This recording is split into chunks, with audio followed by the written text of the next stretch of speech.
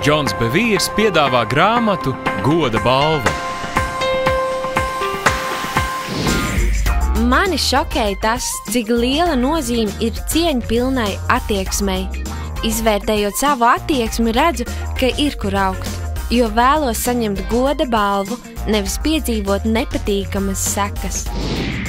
Esmu sajūsmā par šo grāmatu.